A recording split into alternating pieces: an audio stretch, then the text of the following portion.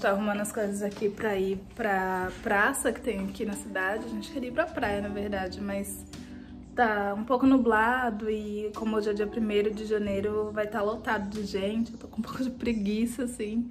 A gente vai pra praça e tô organizando as coisas. Vou assumir minha nova personalidade de 2023, que é ser uma patinadora fitness. Então tô aqui já com meu biquíni, de shortinho. Vamos ver se vai dar pra andar. A gente tá levando comida também, livro, um monte de coisa. Terminei de andar de patins, vim pra cá sentar. A gente tá debaixo de uma árvore. Vou mostrar pra vocês. de uma árvore aqui que tem sombra. Aí a gente já montou ali as cadeiras. O mozinho tá ali naquela, tá? O livro dele. E ele foi correr um pouco. Tá vindo lá. Pra vocês verem ele correndo. Tá animado a correr nesse, nesse mormaço que tá. E aí depois ele vai vir comer. E já montei a mesa aqui também. Do piquenique. Pouca coisa, né? A gente só trouxe frutinhas, livro e pão. E eu queria mostrar também essa toalha aqui, que é tipo uma canga. Ganhei do projeto lá do Google, Google for Creators. Aí veio essa toalha, veio boia de piscina, um chapéuzinho e uma eco bag também. Aí eu trouxe ela pra estrear. E aí, água, livro, pera, uva e pãezinhos.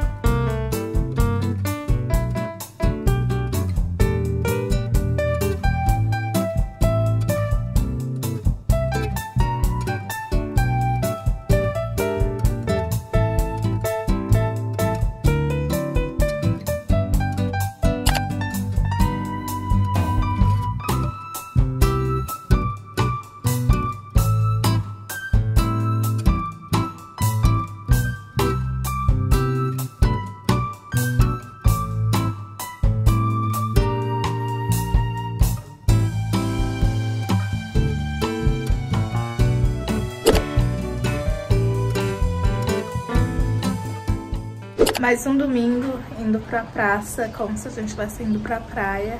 Abriu um solzinho hoje e a gente vai lá andar de patins, ler um pouco e nos divertirmos, né? Porque a gente precisa também desse momento de descanso, de lazer. E vamos lá. Enquanto a gente sai, vamos deixar o Pepe trabalhando. É isso. Leia e se divirta enquanto eles trabalham.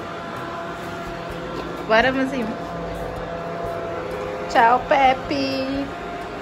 Bom trabalho aí.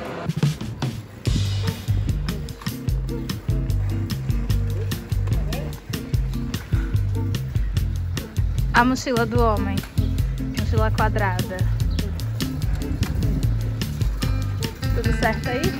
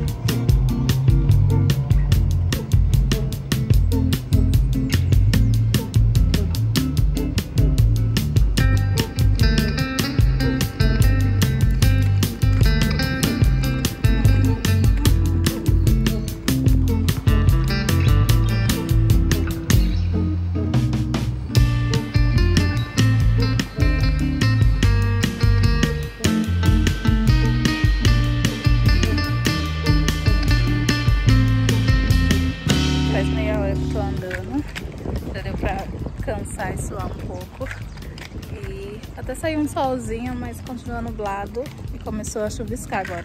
Não muito forte, dá pra continuar andando, mas acho que já tô satisfeito por hoje.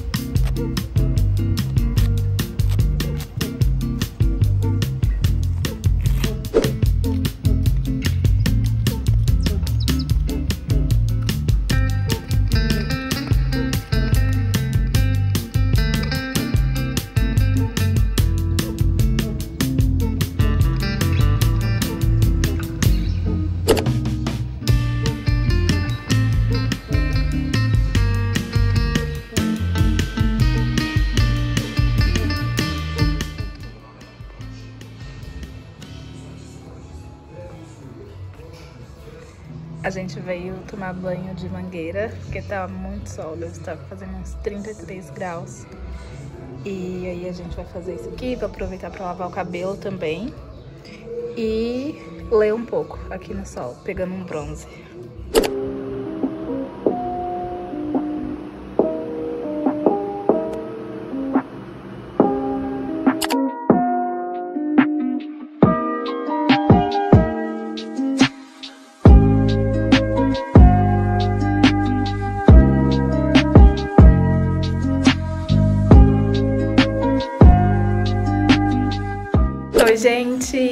Começando mais um vlogzinho pra vocês. Hoje é dia 25 de janeiro e é feriado de São, em São Paulo por causa do aniversário da cidade, então tô... Hoje é uma quarta-feira, então tô mais tranquila hoje.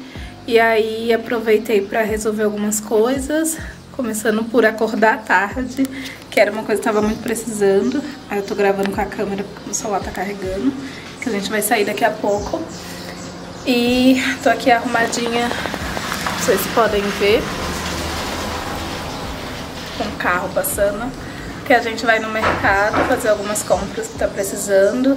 E depois também quero ir num... não é uma lanchonete, é um, um lugar novo que abriu aqui onde você pode comer, tipo um Starbucks, só que não é um Starbucks, mas nesse estilo. E aí depois a gente vai pra academia. Depois ainda quero ver se eu consigo ler um pouco. Não sei, porque eu preciso fazer post também pro Instagram. Mas queria dar uma lida, sabe, hoje. Aí, mas agora tá chovendo, é uma e meia da tarde, tá chovendo, a gente tá, tá esperando passar um pouco. Mas passa, né, diminui a chuva pra gente no mercado, senão atrasa tudo.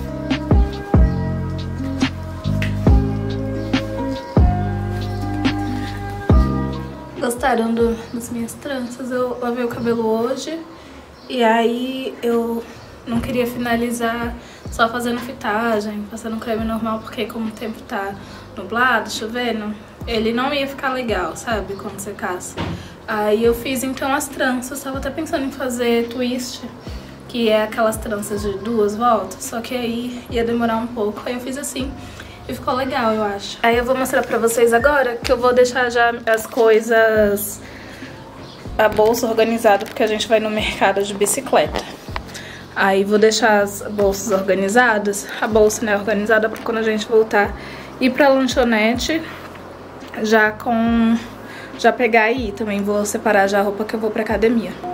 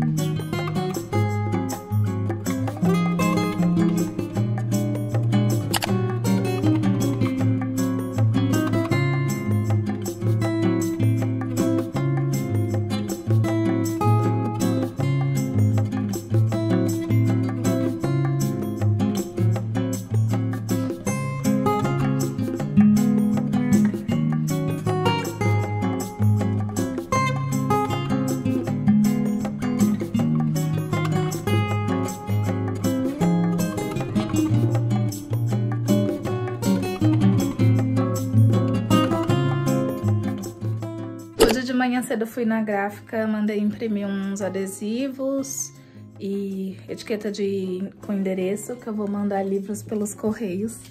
E eu guardei aqui no meu guarda-roupa para não ficar pegando pó. E eu vou empacotar agora E vou mostrar pra vocês esse processo porque tava pensando nisso esses dias, né, de... Aqui os livros.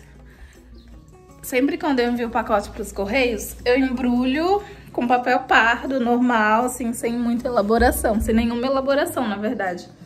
Só que eu queria enviar umas coisas bonitinhas para as pessoas, sabe? Porque, porque as pessoas merecem, as pessoas que participam do clube, que apoiam impressões. Então falei, vou investir em embalagem, em coisa personalizada. Só que o que acontece? É caro essas coisas, né? E aqui na minha cidade não tem, então tenho que ver pela internet. Só que quando eu comecei a pensar nisso, já tava muito perto de enviar. E não ia dar tempo. Aí eu peguei e pensei, ah, mas eu posso... A embalagem de fora até pode ser meio feinha, mas a de dentro eu vou caprichar, uma coisa mais bonitinha. Aí fui numa loja de festas, comprei uma sacolinha, um adesivinho colorido e também fiz adesivos personalizados do Impressões. E aí Achei que ficou bonito, vou escrever agora as cartas para as pessoas. Esse envio é do livro de fevereiro, do temporada fevereiro do Clube Impressões, que é esse aqui, Uma Temporada no Inferno. A gente vai ler em fevereiro e eu vou à editora e o autor enviou, enviaram 10 exemplares para as pessoas do clube, então vou Vou embalar agora para enviar. Então, tô aqui no tapete, aqui estão os livros, aí aqui são as sacolinhas que vão é, por dentro do envelope, aqui adesivinho para fechar o envelope. Aí mandei fazer esses adesivos, esse ficou ruim, a impressão, mas esse daqui fiz outra gráfica, ficou boa, ficaram bons. E redondinho assim do Impressões e do Clube Impressões, que vai junto. E vou colocar aqui dentro desse envelope. E aqui são as etiquetas de endereço. E agora eu vou escrever as cartinhas aqui.